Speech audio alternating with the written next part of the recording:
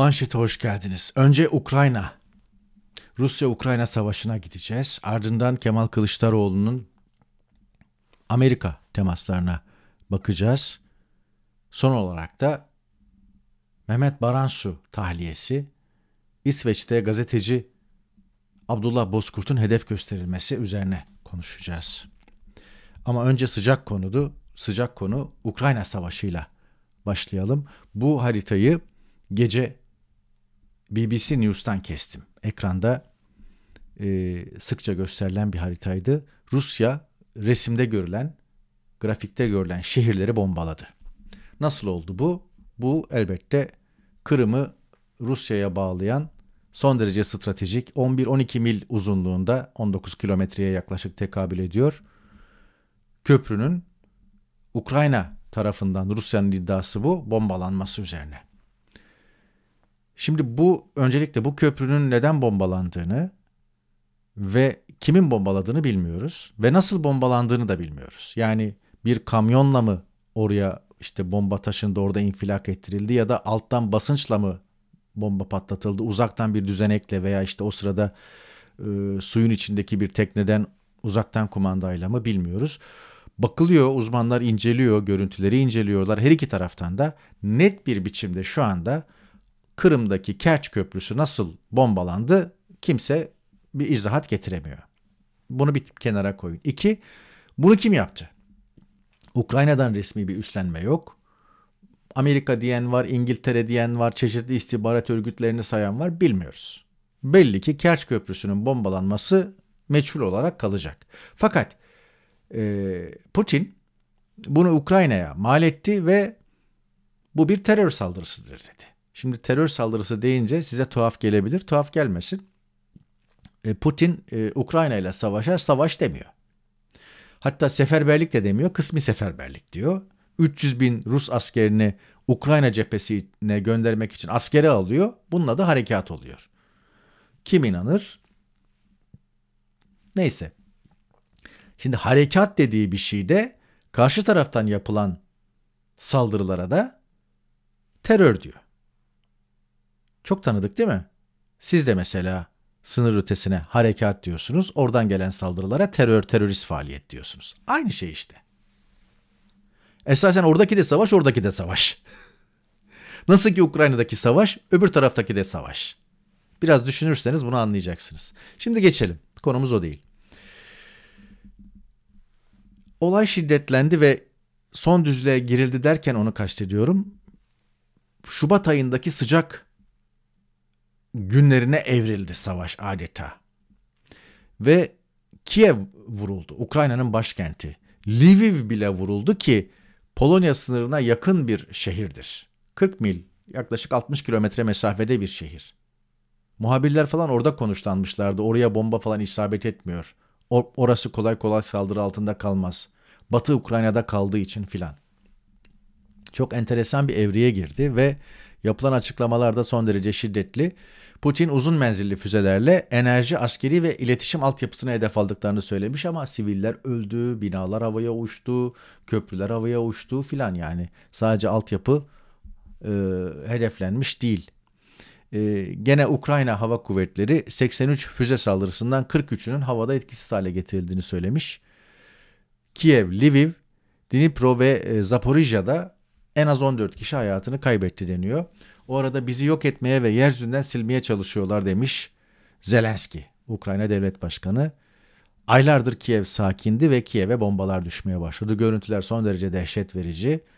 E, amatör çekilmiş görüntüler. Bakalım iş nereye gidiyor. Ama tam da bu arama, arada Batı Ukrayna'ya, e, Rusya'ya yaptırımları şiddetlendirmeyi ele almış durumda.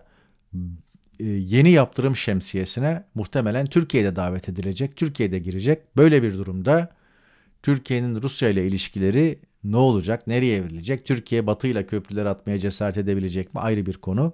Ama Rusya yaptırımlarına, yeni Rusya yaptırımlarına, daha ağırlaştırılmış Rusya yaptırımlarına Türkiye'de girmek zorunda bırakılırsa Türkiye ekonomisinin halini seyreyleyin. Diyeyim ve İran'a götüreyim sizi. Arif Keskin paylaşmış. İran'daki gösterilerin seyrini şu şekilde özetleyebilirim. Sokakta başladı. Sokaktaki gösteriler zayıflayınca üniversiteler devreye girdi. Üniversiteler kontrol edilince okullar başladı. Okullar susturulunca sokak yeniden hareketlendirildi. Hareketlendi. Sırada işçi grevleri var demiş. Şimdi dönelim Türkiye'ye.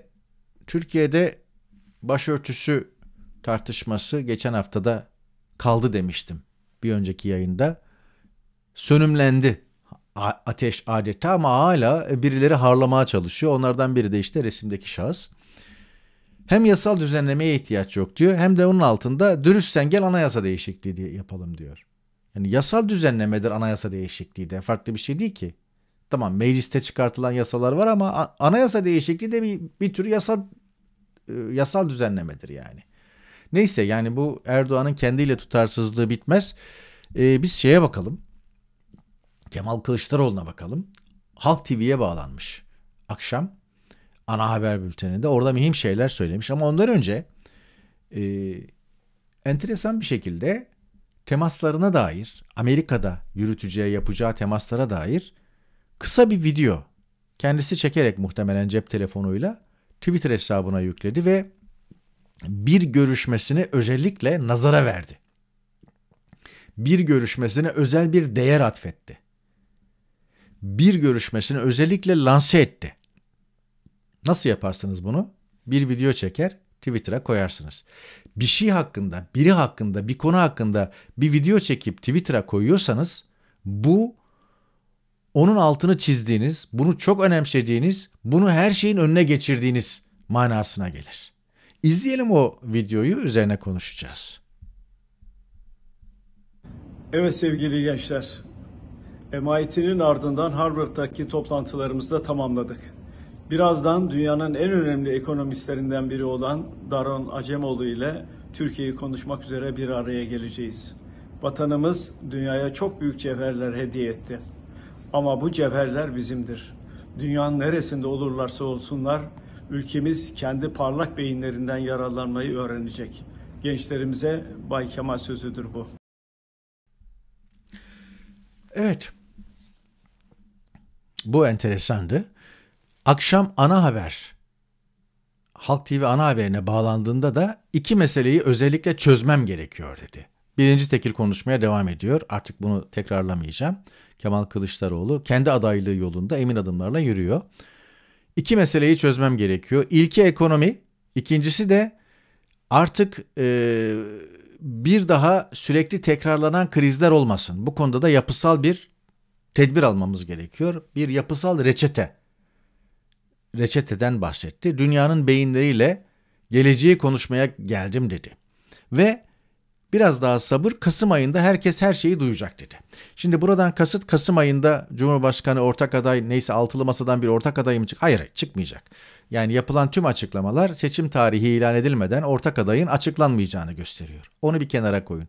Kasım ayında herkes her şeyi duyacak dediği muhtemelen bir ekonomik yol haritası bir ekonomik yapısal reçete ortaya konacak. Ekonomik krizden nasıl çıkılır? Bir daha böyle krizlerle karşılaşmamak için de işte formül, proje, yol haritası.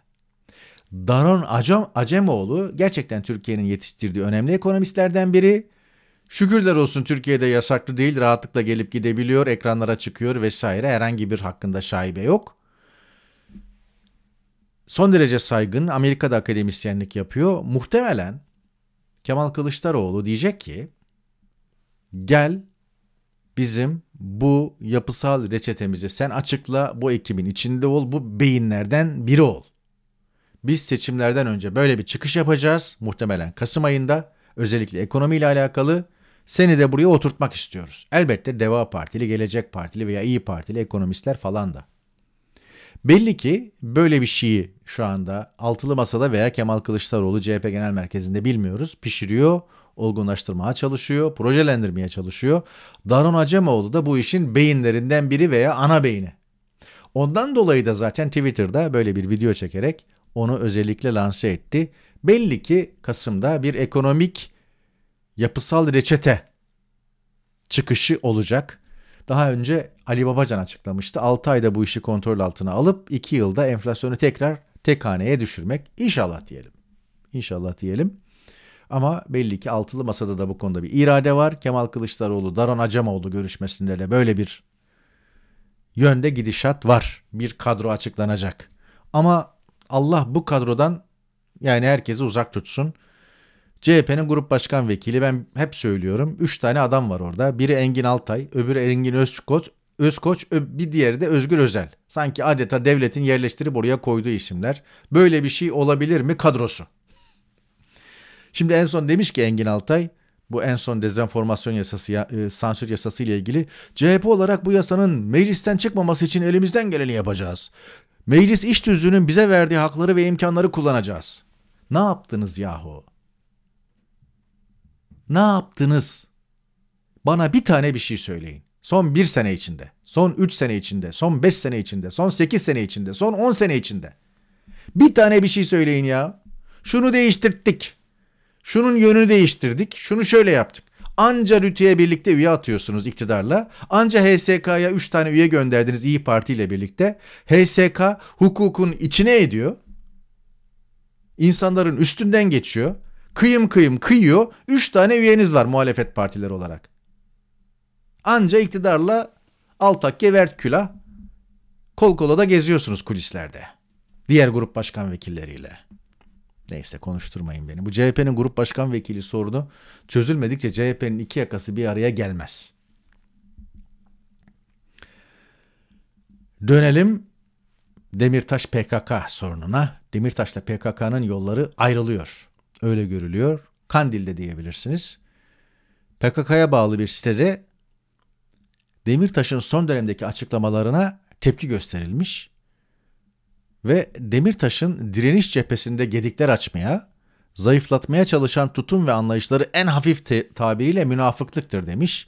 Demirtaş yavaş yavaş e, şeye doğru gidiyor. Tekfir edilmeye doğru gidiliyor. Şu anda münafık olarak e, şey yapıldı. Yorumlandı, betimlendi neyse tasvir ediliyor. Bundan sonrası tekfir. Bakalım iş nereye gidecek ama belli ki artık Kürt siyasal hareketiyle Demirtaş HDP çizgisindeki Kürt siyasal hareketiyle Kandil'in ara, aradaki makas açılıyor. Bu eski verilen fotoğraflarda mazide kalmış gibi görülüyor. Evet. Son e, konumuz Abdullah Bozkurt, Mehmet Baransu. Her ikisi de gazeteci. Biri yurt dışında İsveç'te yaşıyor. Soldaki Abdullah Bozkurt, sağdaki Mehmet Baransu 2015 yılından beri cezaevinde. 7 yılı doldurdu 8. senesi içerisinde.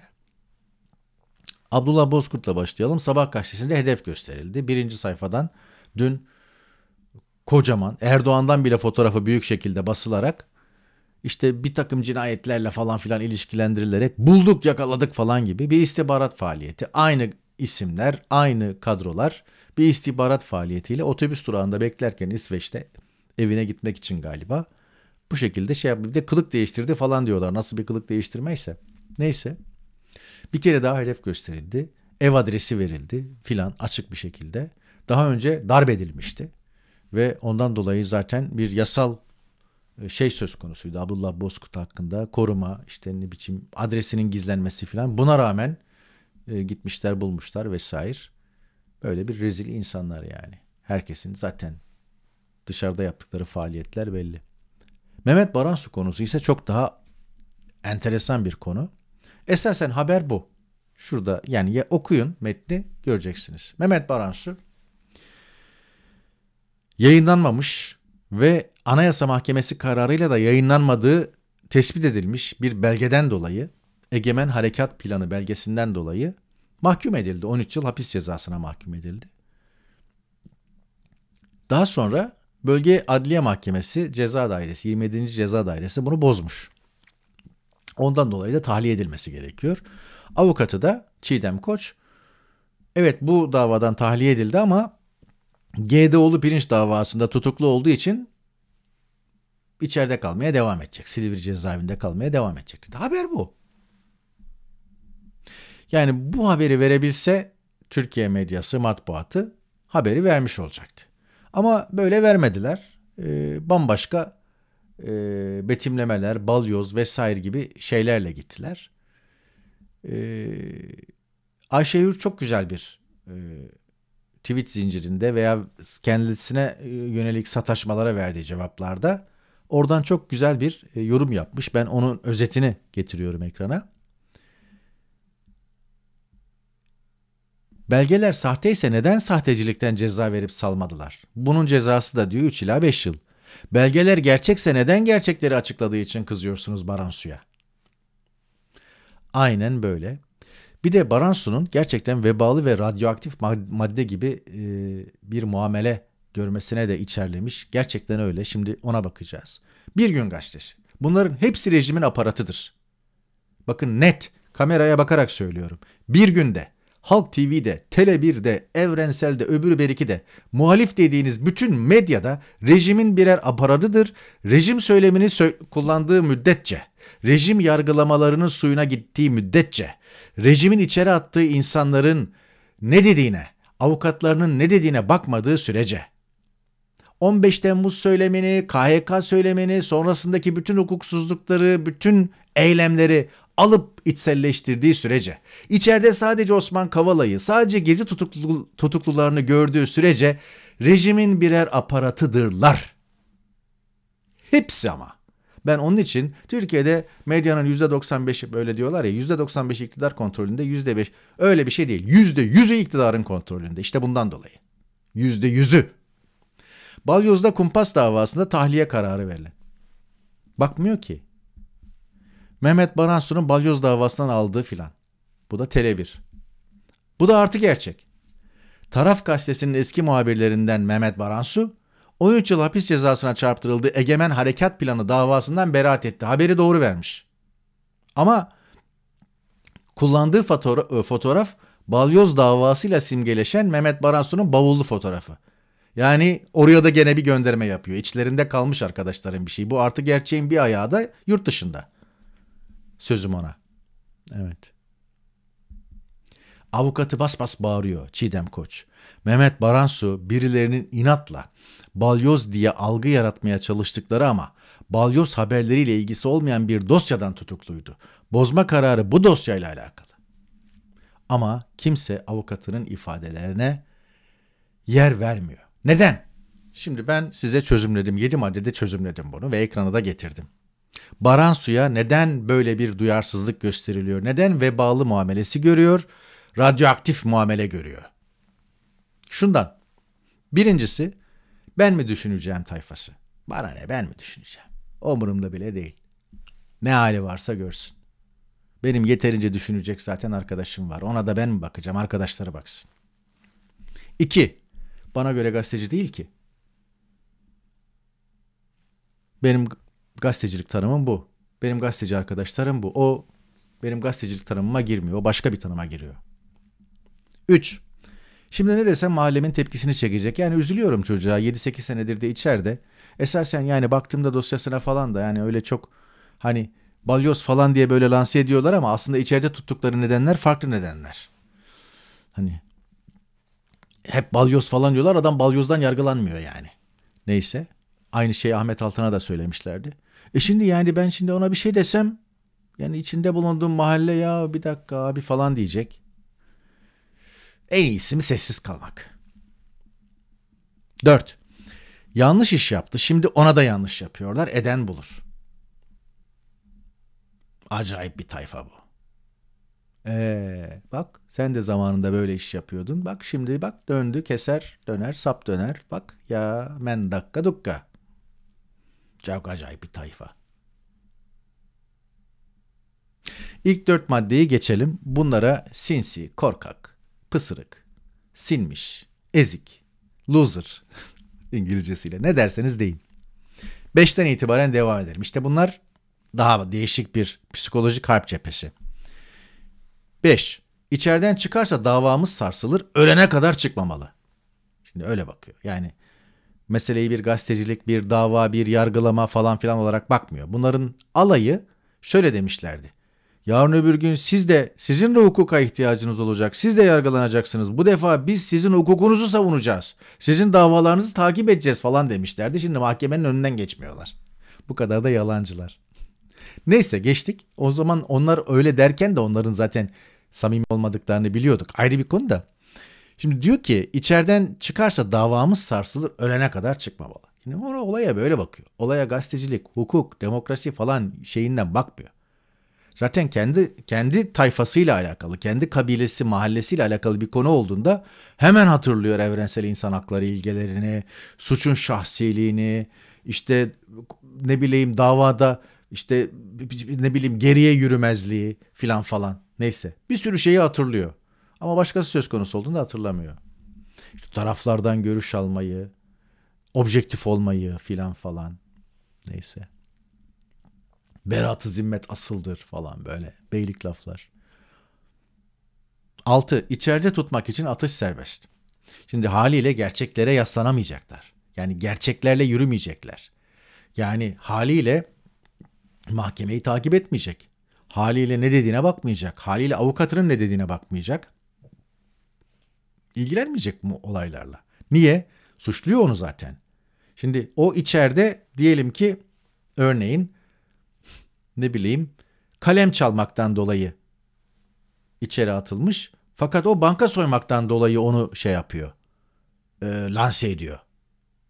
Ya o banka soymaktan yargılanmıyor ki kalem çalmaktan yargılanıyor falan diyorsun anlatamıyorsun da. Yani anlatabiliyor muyum? Yani böyle de bir şey. Böyle bir yani her türlü çarpıtma serbest. Her türlü yalan haber serbest. Her türlü üretim serbest. İçeride tutalım onu. Aman çıkmasın. Elimizden gelen ardına koymayalım. Harpteyiz şu anda yani. İslamcılar harpteyiz, harpte hile serbest diye bakıyor. Öbürleri de işte devrim diyor yani kendine göre. İçeride tutmak için atış serbest. Bu bir savaş. Bırak gazeteciliği genel ilkeleri de poşete koyup duvara asacaksın. Sen, şimdi birisi mesela bir haber merkezinde patronuna veya müdürüne gidiyor. İşte diyor Mehmet Baransur'un avukatı açıklama yapmış efendim. Şimdi burada söyleyemeyeceğim küfürle, kıyametle onu kapının dışına kadar gönderiyor.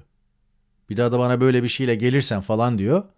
Çocuk bir daha da artık ona göre şeyini yapıyor. Yani ayarını almış oluyor. Böyle bir şey. Şimdi 7 maddede özetledim. Siz 17 maddeyi de çıkartabilirsiniz ama bu genel şey değişmez. Ee, Baba Ali'nin ciğerini bilirim yani. 9-10 farklı kurumda çalıştım. 4 ya da 5 medya grubunda çalıştım. Bilirim ne düşündüklerini, zihin kodlarını, mahalleciliklerini, kabileciliklerini, her şeyi bilirim. Yani e, o konuda bana kül yutturamazlar. Hababam sınıfına gitti aklım. Son tahlilde Ayşe Hür'ün dediğine geliyorum.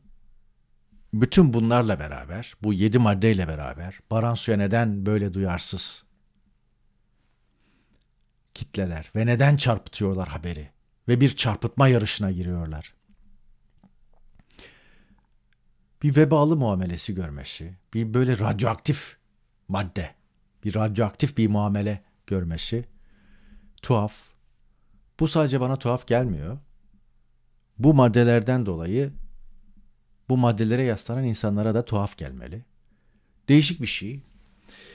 Yani şunu anlamaya çalışıyorum. Ben birinden ne kadar nefret edersem edeyim, ne kadar haz etmezsem edeyim, ne kadar o bana bir kötülük yapmış olursa olsun, onunla ilgili bir konu geldiğinde, hele içerideyse, davasına bakarım, avukatına bakarım, iddianameye bakarım, safahata bakarım, kararlara bakarım, neyle ilgili değil. Ya onu koyarım. Yani şunu koymak çok mu zor? Mehmet Baransu haberi özetle bu. Yazdım işte yani. Özetle bu. Bunu koymak çok mu zor? Sevmeseniz de, nefret etseniz de, aman yaka silkseniz de. Çok mu zor?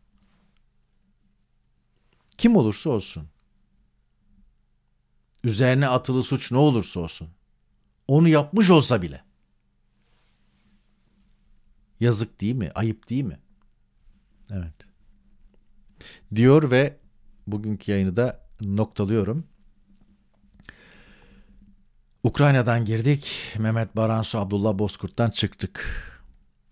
Çok alakasız konular ama esasen birbiriyle bir anlamda dönemdaş, konjonktürün gündemleri bunlar. Bir sonraki yayında görüşmek umuduyla efendim. Hoşçakalın.